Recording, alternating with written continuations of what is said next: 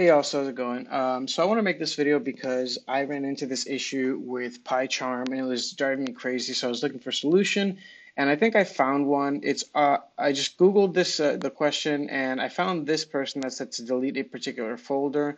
Um, this little curly bracket here insinuates that it's an invisible file, so you might not see it if you actually go look for it. But if you do go to this URL, um, uh, probably won't paste the URL in the description to be honest. Maybe I will, but um, just cop, you know, look at what I have here, type it out, and then go to, uh, what is it, um, Finder, and then Go, and then go to Folder. If you just click Go to Folder, um, it'll ask you where do you want to go. You just type that in and click Enter, and it'll take you to the particular folder that it's saying that you should delete. Now, the form, it says to delete the entire JetBrains folder, this whole thing.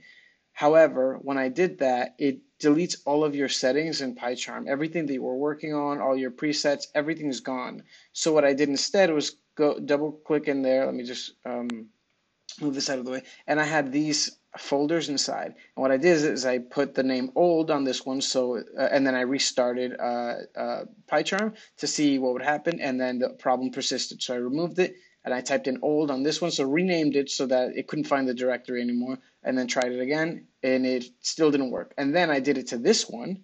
I just changed the name of this one, and it automatically created this folder.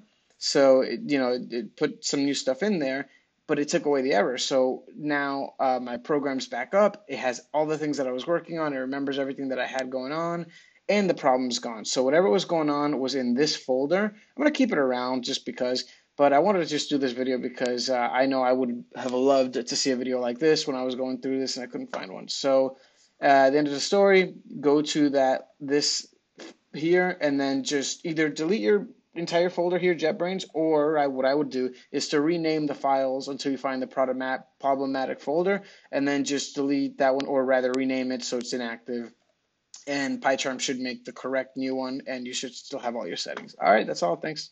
And if you like, subscribe, you know what to do.